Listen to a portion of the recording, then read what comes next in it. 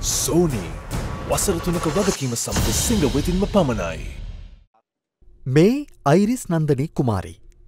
ඇය මීට වසර තිහකට පෙර නාවලපිටිය ගොරකඩවල ප්‍රදේශයේ පදිංශිව සිටි උදුපෙන් විධානලාගේ සෝමාවතී නැමැති කාන්තාවකට දාව උපත ලබන්නේ නාවලපිටිය මූලික රෝහලෙති. ඇය මෙලොව එළිය දුටු දිනේම ඇගේ මව සිය දීනිය නෙදරලන්ත ජාතික කාන්තාවකට හදා වඩා ගැනීමට ලබා දුන්නා. වසර තිහකට පසුව අයිරිස් නන්දනී කුමාරී මේ වන විට විවාහ වී ඇති අතර. තම මව සිවීම සඳහා ඇය ශ්‍රී ලංකාවට අවස්ථා හතරකදී පැමිණියා.